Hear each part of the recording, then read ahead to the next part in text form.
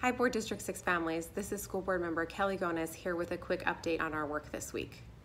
LA Unified has spent millions of dollars to support our students and families by providing devices, Wi-Fi hotspots, and meals to children and adults. It's the right thing to do, but it's going to take more resources to meet these growing needs. That's why I've been advocating with our local, state, and federal leaders for additional funding. School districts are on the front lines when it comes to the response to the coronavirus, and we will need more resources both for our current efforts and to help close learning gaps for students and ensure we can reopen safely under the new guidelines.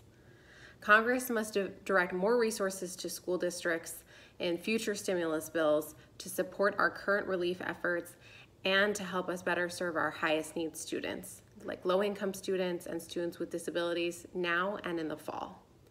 Our state must devote more resources to help us strengthen distance learning, hold summer programs, and protect our hardworking school staff.